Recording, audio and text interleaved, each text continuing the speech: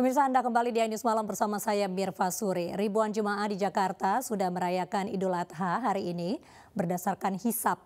Mereka pun menggelar sholat Idul Adha di masjid.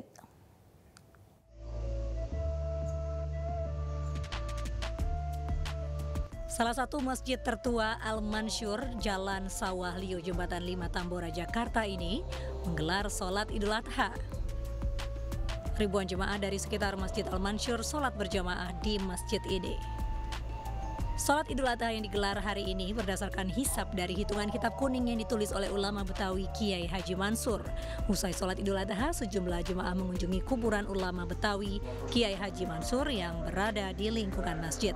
Kami dari Masjid Al Mansur tentunya punya perhitungan sendiri ya, punya hisap palak tersendiri yang menetapkan bahwa satu Zulhijjah itu jatuh pada hari Senin ya kemarin tanggal 19 sehingga 10 Zulhijjahnya jatuh pada hari ini hari Rabu tanggal 28 Juni 2023 berladia. Jadi berdasarkan kitab Selamat Nairobi karangan guru besar kita Al-Baqarah kayak Jemaah Mansur Jembatan Lima.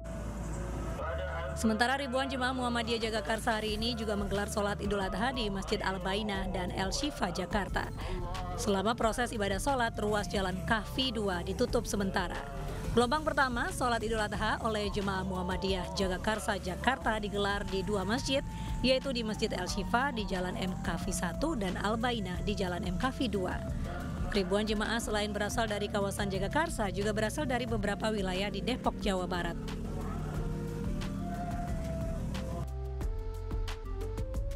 Warga Muhammadiyah yang tinggal di kawasan Kalibaru Cilincing, Jakarta juga melaksanakan sholat Idul Adha di lapangan Stadion Mini.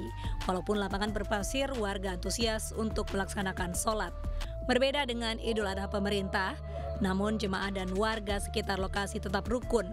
Walaupun sholat Idul Adha dilaksanakan pada hari ini, warga Muhammadiyah tidak memotong hewan kurban pada hari ini.